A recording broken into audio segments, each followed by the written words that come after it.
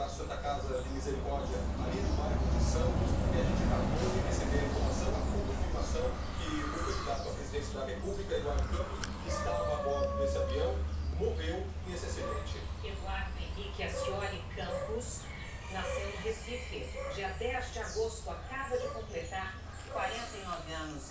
Ele nasceu em 1965, ele era casado, tinha cinco filhos e era o líder do PSB, Partido Socialista Brasileiro. Vamos conversar agora